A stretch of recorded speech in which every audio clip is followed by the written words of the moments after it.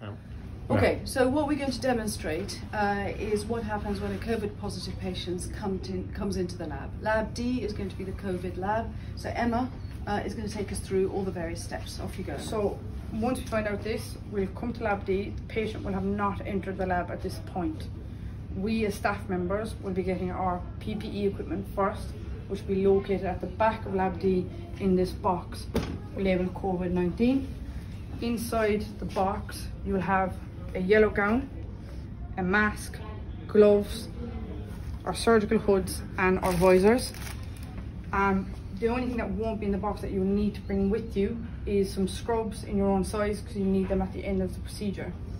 Then once we're ready, we have all of our equipment that we need to bring with us in when we're about to in, enter the lab.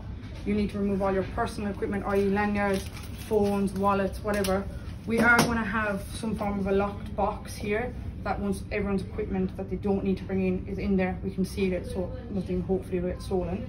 Um, then the next step we need to do before we enter the lab is we need to tuck our trousers into our socks. Um, um, just pretend Ghada has socks on. And then we leave our own personal shoes outside here, outside the door. We'll gather our belongings and we'll enter the lab. Going to be some Wellingtons on, the, on this wall. The only sizes we have are size 6, 9 and 12, okay? We have written on them, so you shouldn't have to pick up or touch the Wellingtons at all. Now, to put on the wellies, your trousers, because they're tucked into your socks, should not bulk up. So you should be able to slip your foot into your Wellington without touching it, as Ghada has just demonstrated. Then once your Wellingtons are off, on, we're going to proceed over to where you'd scrub, if you'd like to follow me. That your clean scrubs into this room here, which is just clean. Um, there is some sizes being kept in this room on this trolley, but just to ensure that you have the correct size scrubs, I'd advise you to bring them with you. Um, clean scrubs are in there, so that one will remain clean. Then out here, we will have lead and all of the equipment we need to wear to protect ourselves. This lead is going to be classed as a dirty lead. We will not be bringing any form of lead in with us.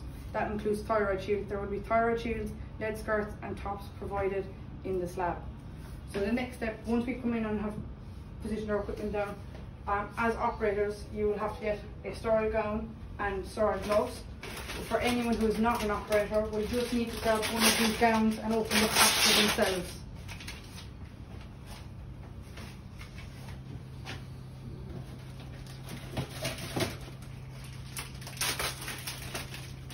Now, the next step is you'll place on your lead, so lead skirt, lead top and thyroid shield.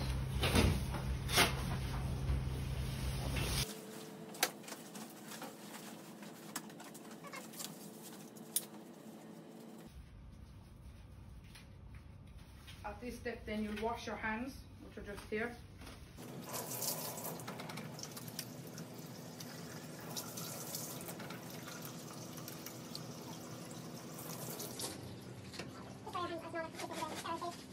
So next, once you wash your hands, you are going to be operating, touching all of your head equipment, um, which includes your uh, cap, your mask, and your visor. Um, on the visor, there's a little white veil um, that needs to be taken off.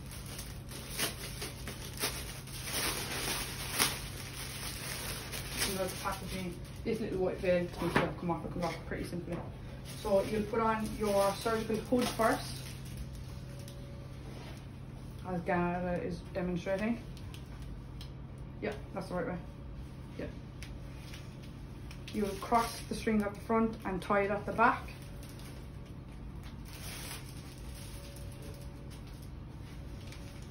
You will next put on your mask. So Ghada is a slightly different mask to a lot of us, but most of us have a filter on the bottom. The bottom elastic needs to go at the right, at the back, uh, at the bottom of your neck, like so. And then the top elastic needs to go as, top, as far on the top of your head as possible. That helps your mask not to slide down. At this point, you need to squeeze the mask around your mouth, make sure it does a nice tight seal. And then the last thing that you need to pop on your head is your visor. Now the visor is an elasticated um, fastening like so. Now, at this point, just before we proceed, adjust your headgear as, comfortably as you think you need it during the procedure, because after this, you will not be able to touch your head at all. So the next step is, uh, we again we'll wash our hands.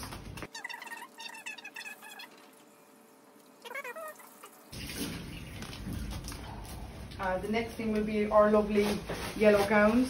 And now for everyone, we've decided that the yellow gown will be the first gown you put on, um, regardless of whether you're an operator or um, another member of staff in the lab. Um, the gown fastening and opening works on a body system, so you'll need something to tie your gown as well as open it at the end. So it's just a velcro at the top, and then there is two strings that we tie just here.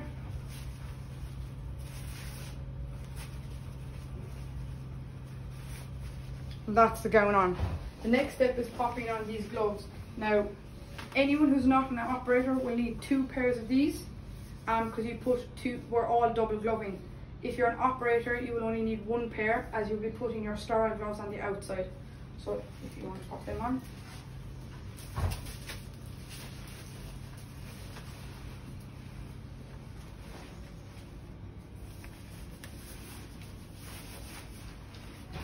This next step is only for the operator as they will need to scrub like they would normally only with the gloves and this yellow gown on.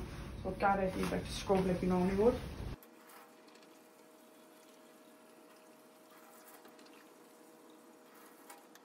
Uh, will put on her sterile gown and her sterile gloves like you would for any other procedure once you got to scrubbing um, I would, again, using the body system, I would tie up gowns.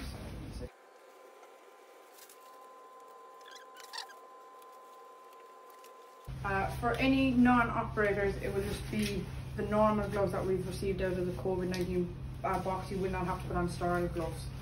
Um, once all of our protective gear is on, um, including our headgear, boots, everything, and you've double gloved and have two aprons on, you can proceed into the lab. So, into the lab. Yeah. At this stage, we are now assuming that we've finished the procedure, the patient has safely started to make their way to ITU or wherever they're ending up. At this point, every member of the team can then begin to take off their dirty equipment. Um, for anyone who's an operator, if there happens to be blood on your visor, you take that off first because obviously you don't want to touch that with anything that might be clean. So visor will come off first. That will be placed in the bin. Then your sterile gloves will come off because they will have uh, blood on them from the procedure. Uh, chucked in the bin. And again, opening the gowns work on a body system. So I'll undo the gown down. And then she will take that off, but then on the inside, we'll ball it up and place it into the bin keeping her gloves on as best she can.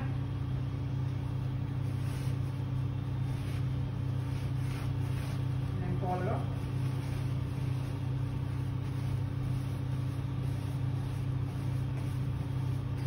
That will get placed in here.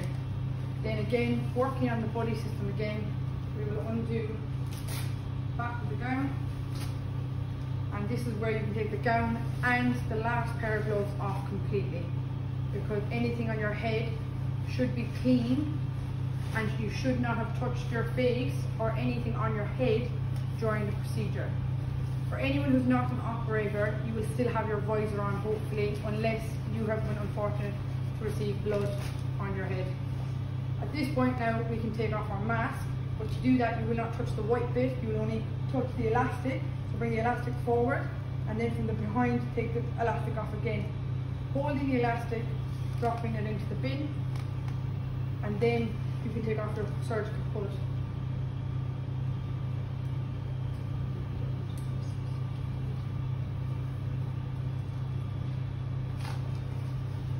At this point, you are relatively clean. You to the area that we've marked as the, cleaner area of the lab. And before the procedure began, one of either the nurses, radiographer, or physiologist will pop one of the chlorine tablets in each bin and it'll be filled with water which will have fizzled out and this is now bleach So you will dunk one welly in here. You kind of move it around, just to splash a bit of water onto the welly.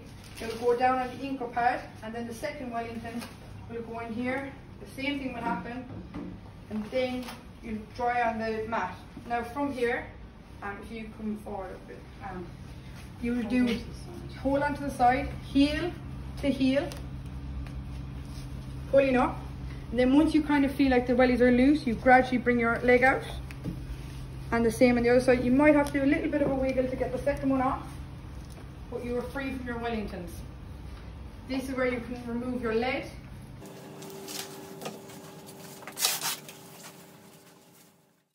Um, you can remove, if your trousers are still tucked into your socks, you can remove them from your socks. You will wash your hands.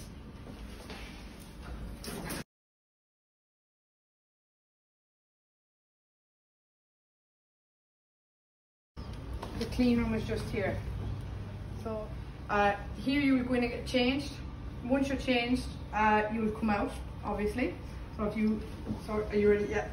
So your dirty scrubs will remain on the floor. You will kick them out with your feet. You will then wash your hands again, and then you will leave the lab.